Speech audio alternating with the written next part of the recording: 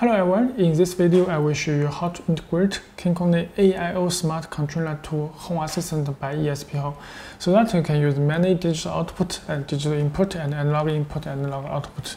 You can see here, that is our KinCony AIO board. So that you can see so much GPIO you can use. Actually we can use uh, 32 channel output and uh, you can see it here, uh, 56 channel digital input and analog input and the analog output 16 channel. Okay, let's look at our phone. We have already uploaded and prepared the YAML file for you used by ESP Home. You just download this file. And here you can also see this PNG file in our form. You can see the AIO every PNG file have listed here. But if you have this YAML file, you just directly to use. Okay, now the first you need to open your Home Assistant dashboard. Okay, let's look at our hardware firstly. And you can see it here, uh, this is KinCony AIO board, and this is KinCony Server 16. Uh, it's a Raspberry Pi 4 Linux system. I have already installed Home Assistant on it. Because we need to download the firmware to ESP32, I need to use a USB cable, just a USB-C cable connect with this server and this AIO board directly. And at this terminal, I have connected all V in together so that uh, this have connected 12 volt. If you have used 24 volt, you can connect with your 24 uh, volt power supply, no problem. Uh, this V in is different because if you want some channel, uh, for example, this channel for 24 volt, and this channel work for 12 volt load, so you can connect with different power supply directly. So in, in here, I have used this uh, smart cable. I have connected this V in just all together because I only use for 12 volts. And uh, this USB cable, you can see uh, this cable have connected with it. Uh, this is USB-C. And another side, uh, you need to connect with this uh, your server USB port, not your compute. It's your home assistant server USB port. And now let's power on. And you can see I can let power on of this AIO board. Uh, let's back to my Home Assistant dashboard. Okay, in your Home Assistant, if you have installed Home Assistant, firstly, you need to install ESP Home because our config file is for ESP Home.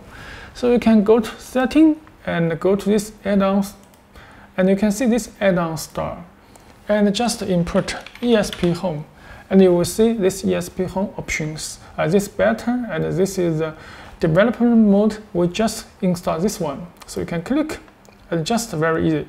Click install so make sure your route have connect with the internet because if I install this ESP Home, that will auto download files from the internet uh, from the cloud server. So just wait for some minutes, uh, that will be complete. And we can look at this AIO board and you can see uh, in this diagram I have connected this V in before uh, this red cable, this V in, uh, V in, V in, V in. So I have all connect with this power, 12 volt, uh, so that the different channel output uh, can contain 12 volt load. Uh, if you want use this uh, contain 24 volt load, uh, so that your power supply for this two terminal is 24 volt, is it's okay. Or maybe you have this some channels for 24 watt and this some channels for 12 watt. So you just connect the different V-in terminal with a different power supply. Okay, let's back to my home assistant and wait for this ESP home installation. Okay, you can see this ESP home is installed complete. I think you can enable this one, uh, show inside the bar. You can see I can enable it so that you can see the ESP home on the left window. So I can click start or we can running this add-on. We can click this logo and refresh and that will start.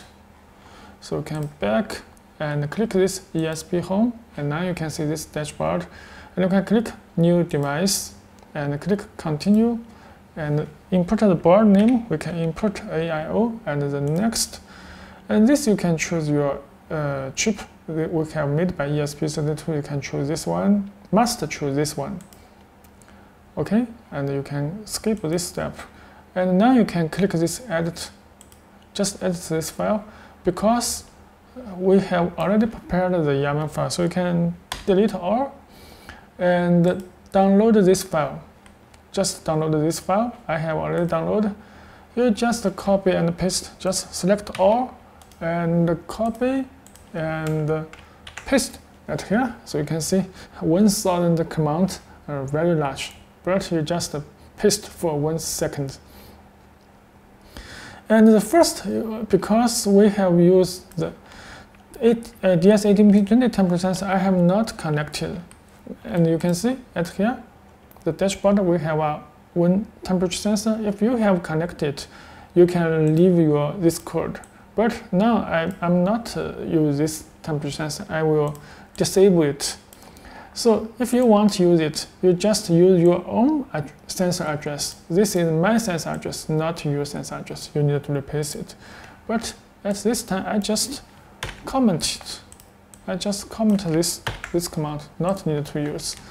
Okay I press save and press install and press this USB cable and press this cable and wait for some seconds so that will be comply and download to ESP32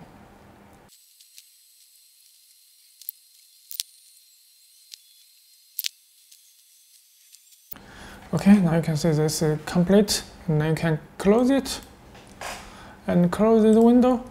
And you can re-power on of this board. You can see I can power off and power on again. And wait for a moment. If your Ethernet begin work, you will see this uh, yellow and the green LED is blink. And this time you can remove this USB cable and not need to use it uh, just only use this AIO with network directly. And also you will see at this one, you can see the state is changed to online. And we need to add to dashboard. So you can see I can click this setting and click this device and servers.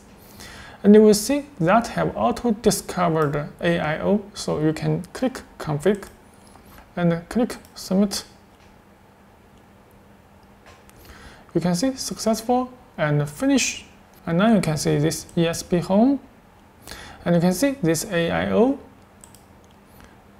And you can see it here.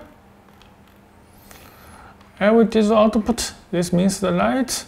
And this is LD, that is analog output.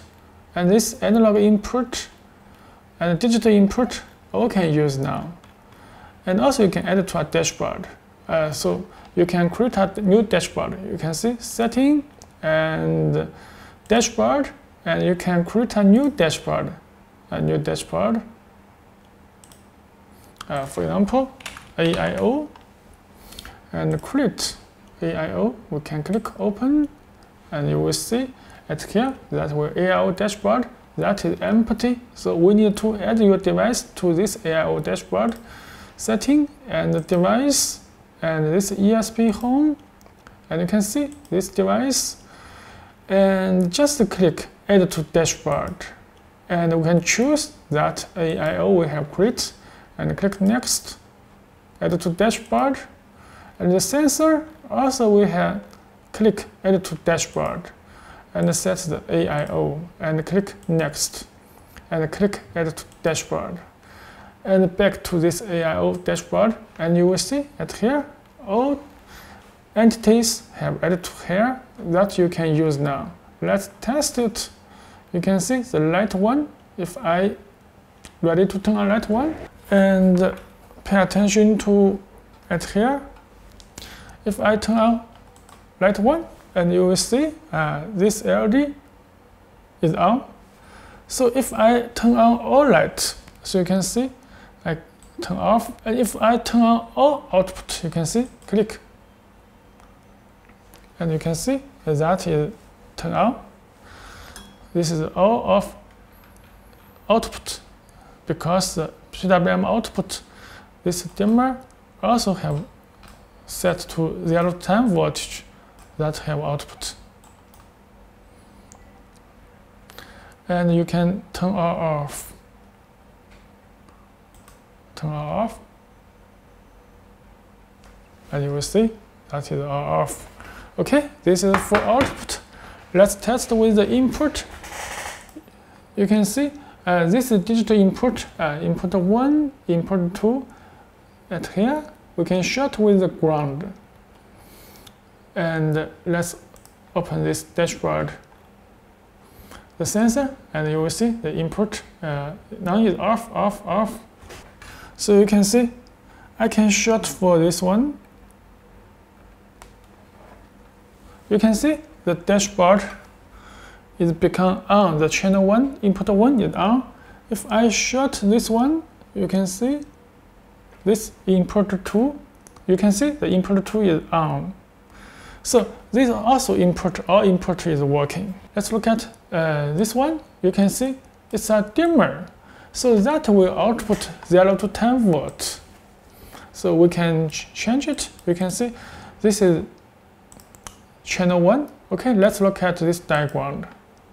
Uh, this analog output you can see at here, this is the one, channel 1, and this ground. We can test it.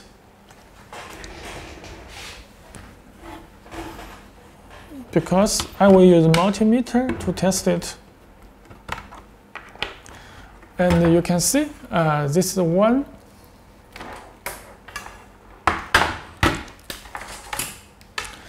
I will use multimeter to test it.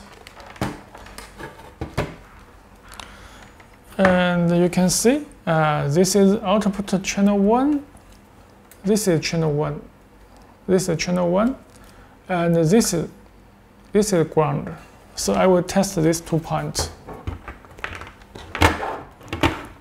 Okay, that means analog input 1. So you can see if I use Home Assistant dashboard at here, and you can see I change, change it. You can see my voltage is changed. So you can see that have output 0 to 10 volt. Uh, this 100% uh, is 10 volt output. So you can see that will be change the voltage output. So this means now the home assistant is work with this dimmer and analog output. You can see at here also have some different analog input. So you can see at here, that is for analog input. Uh, some sensor for 0 to 5 volt and some sensor for uh, 4 to 20 milliampere. So you just connect the signal to this part and the home assistant, you can configure it and will display the analog input signal. Okay, this is how to use ESP Home to configure the YAML file for AIO smart controller. I think this is easy to use in Home Assistant so that you can have so much different hardware resource uh, and manage in Home Assistant. Okay, thanks for watching.